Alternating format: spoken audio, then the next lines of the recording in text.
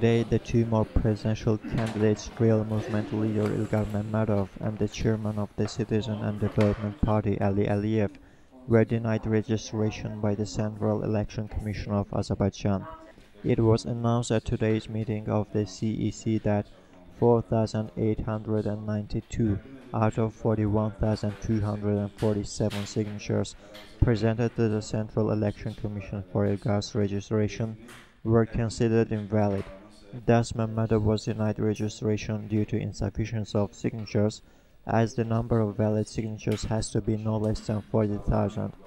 Meantime, Serdar Mammadov, leader of the Democrat Party, was successfully registered. Thus, the CEC completed the review of applications and 10 candidates will compete for the post of the president.